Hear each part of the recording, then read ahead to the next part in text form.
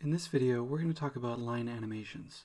So a line animation is the animation of a border going around a vector shape. You can create some pretty interesting effects with this. Here's one example of a trail going from the start point to the end point. You can create a lot of interesting vector shapes and knowing that you can animate that border moving from the start point to the end point can result in some really interesting designs.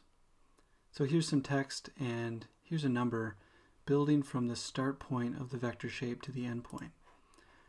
So how does this work? So let's start back at this um, element and remove the animation. When you have a vector shape selected, you have the option here for line draw. You can set an arbitrary value here from 0 to 100%, or you can animate it. Let's show you how to animate. so we're going to start at 0%, hit the record button, go forward 5 seconds, and then adjust the line draw percentage to 100%. And this automatically creates your keyframes here where this keyframe represents 0% and this represents 100 and it uses the default easing transition, which is ease in out. We can change this to linear so that it more closely reflects uh, the walking speed that you would want to represent here.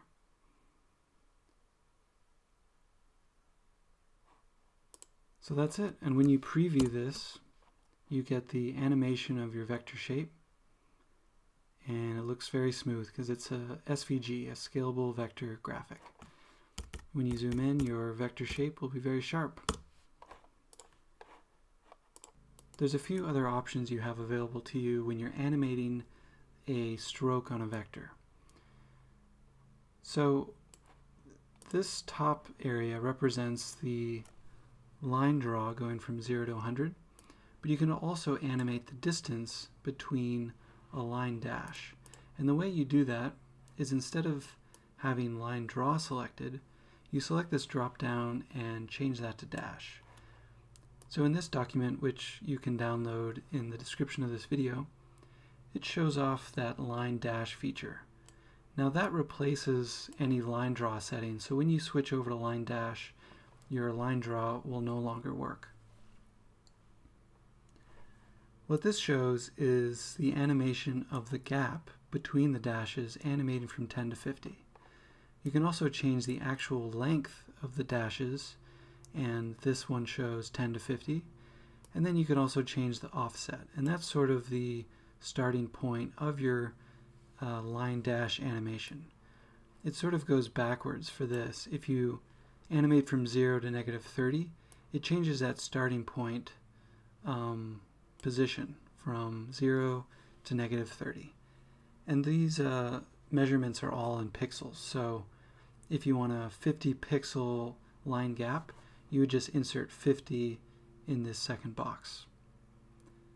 So this is your um, line dash value, this is your line gap value, and this is your offset.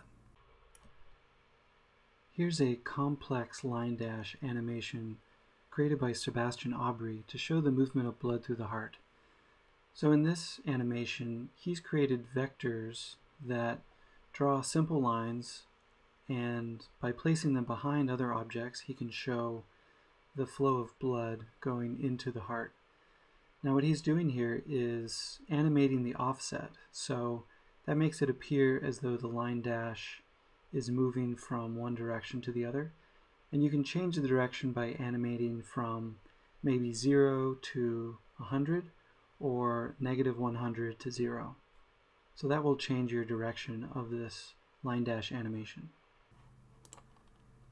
So when you're animating these uh, line draw properties, it sort of moves around the outer edge of your shape. If you were to close this shape and sort of go like that, it automatically adjusts and you'll always have a percentage based calculation. So no matter if your your line increases in length it will always represent the same percentage of that line draw completion. You can also use um, easing transitions. So in this animation, we have kind of a different easing transition where it bounces to the end and then comes back. And the way you do that is you can change your easing properties in this advanced easing editor and you can see exactly how it'll behave as you preview. So a couple other things you can do with this uh, line draw animation. So you can animate the building of really complex shapes. So this is multiple line draw animations happening. And you can set each one to stagger and start at different points. If you have any questions about this technique, please leave them in the comments below. And thanks for watching.